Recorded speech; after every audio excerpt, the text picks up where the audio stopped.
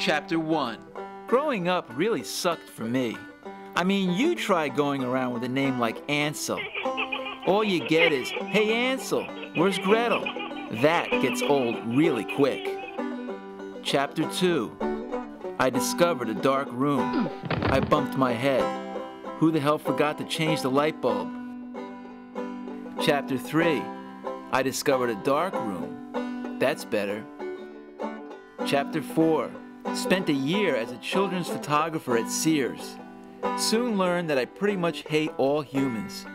While driving home one day through a rock quarry, I noticed that inanimate objects don't cry and fidget. Hmm. Chapter 5 Too cheap to get a zoom lens or color film, so I'll have to make do. Whatever.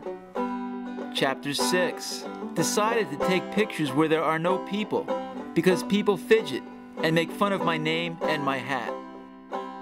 Chapter 7 Took pictures of mountains in black and white from really, really far away, because if I get closer, there might be an annoying human on one of those mountains. Chapter 8 Set myself up in the calendar business for all perpetuity, catering to people who listen to NPR. Did it as mail order only to avoid any human contact.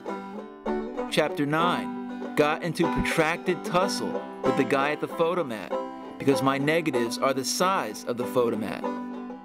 Chapter 10 Won lots of awards for my big black and white wide shots of glaciers and mountains without people. Rode by the old grade school and shouted drunkenly out the window, I got you, Gretel, right here.